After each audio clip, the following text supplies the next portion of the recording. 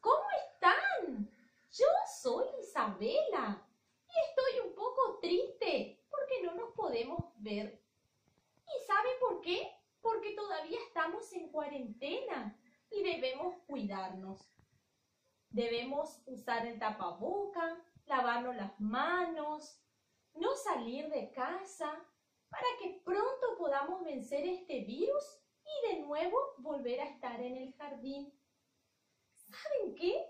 Traigo algo muy importante. Historia sobre una persona que me contó la señora Griselda. Se llama Manuel Belgrano y los quiero compartir con ustedes. ¿Lo conocen? Aquí les presento, niños. Él es Manuel Belgrano, una persona muy importante en la historia argentina. Me contó la señora Griselda que este hombre hizo muchísimas cosas para defender y mejorar la tierra donde había nacido. Dedicó su vida para servir a la patria. Entre ellos, trabajó sin descanso con muchísimo empeño y gran espíritu patriótico. Defendió a los campesinos, se preocupó para que se le enseñara el arte de cultivar la tierra. Le importaba la educación de la juventud. Por eso propuso la creación de muchas escuelas y hasta donó dinero para que esto fuera posible. Ayudó a fundar un periódico y trabajó como periodista para difundir sus ideas renovadoras. Participó en los gloriosos días de mayo y formó parte de nuestro primer gobierno patrio como vocal de la primera junta.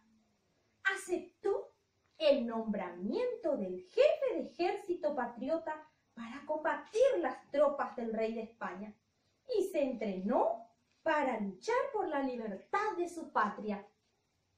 Quiso que sus soldados tuvieran un distintivo propio y pidió al gobierno que les permitiera usar una escarapela celeste y blanca. Con gran ingenio y valor, salió victorioso en muchas batallas, como por ejemplo la de Tucumán y Salta. Allí venció por completo al ejército realista, manteniendo al salvo esos territorios. Como general del ejército de la patria, fue derrotado también en otras batallas. Pero ¿saben qué? Nunca se dio por vencido. ¡Uy, qué grande Manuel Belgrano! y como nos llevaba en su corazón, nos regaló una bandera, esa misma que a orillas del Paraná presentó a sus soldados por primera vez.